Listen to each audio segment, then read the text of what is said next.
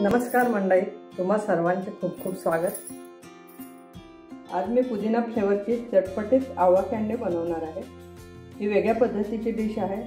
खायला एकदम मस्त वाटते. यासाठी मी अर्धा किलो आवळे चाळणीत वाफवून घेतले आहे पंधरा मिनटं.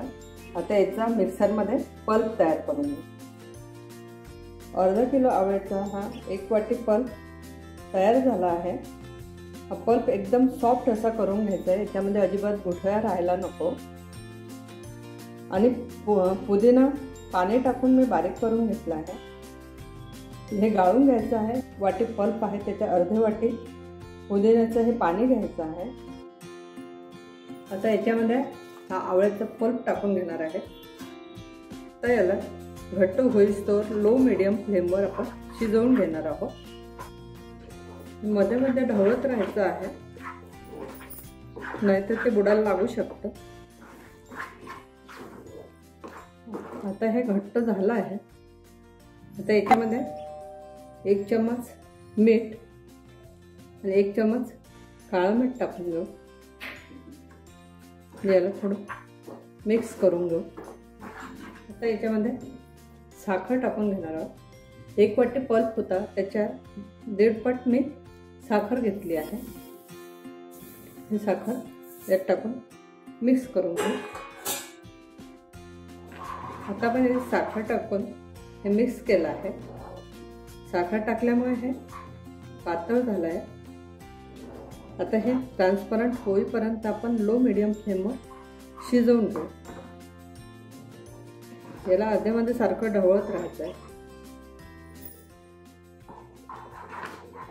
आता हे मिश्रण ट्रान्सपरंट झालं आहे. एक चम्मच कॉर्नफ्लावरमध्ये दोन चम्मच पाणी टाकून मी त्याचा घोळ बनवून घेतला. त्याच्यामध्ये टाकू. त्याच्यामध्ये थोडं याला घट्टपणा येणार आहे. आणि हे आणखी थोडा वेळ त्याला शिजवून घ्यायचा आहे. आता याच्यामध्ये एक चम्मच साजूक तूप टाकत आहे. साजूक तूप नसेल तर बटरही टाकू शकता. याला घट्ट होऊ द्यायचं आहे. आता हे मिश्रण घट्ट झालं आहे.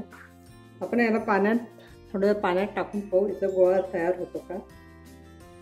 पाणी घेतलं आहे मी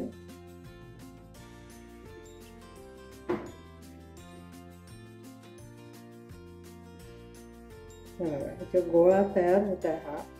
म्हणजे हे आता आपलं झालेलं आहे. अशा प्रकारे हे पडताळून पाहायचं. गॅस मी बंद करून घेतला आहे. एका प्लेटला मी तूप लावून घेतला आहे. यात हे सारण ओतून घेऊ. आता आपण याच्या प्लेटमध्ये ओतून घेतलं आहे. लाईक एकसारखं करून घेऊ. आणि हे थंड होण्यासाठी ठेवून देऊ. त्या कलर खूप सुंदर आला आहे. झटपटीत आवळा कॅन्डी तयार आहे. खायला खूप चविष्ट लागते. नक्की करून पहा. आवडलं असेल तर लाईक करा शेअर करा सबस्क्राईब करायला विसरू नका. परत भेटू पुन्हा अशाच नवीन रेसिपीसोबत तोपर्यंत धन्यवाद.